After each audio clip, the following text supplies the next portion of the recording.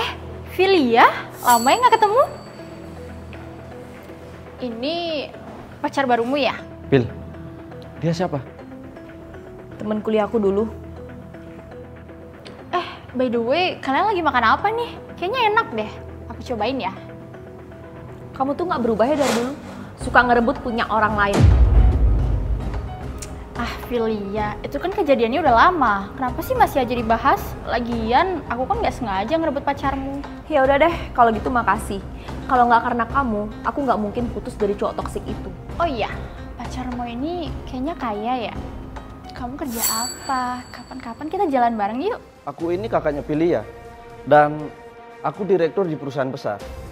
Kamu ini nggak level buat aku. Kok kamu ngomong kayak gitu sih? Phil, kok kamu bisa sih punya kakak kayak Raya kayak gini? Kenapa? Kamu iri ya? Kakakku kaya raya. Sedangkan kamu harus kerebut pacar orang dulu buat dapetin duit. Is, kalian ini awas aja ya.